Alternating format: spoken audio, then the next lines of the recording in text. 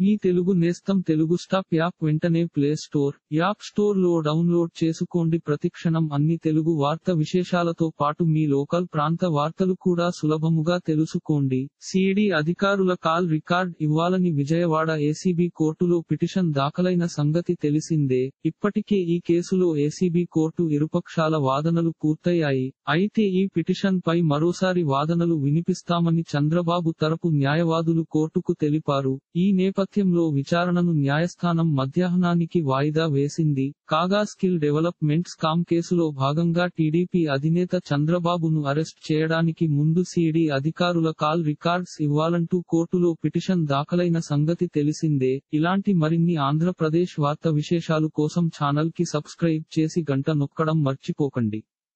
ఈ వీడియోని తోటి మిత్రులకి షేర్ చేయండి. మీ అభిప్రాయాన్ని కామెంట్లో తెలపండి.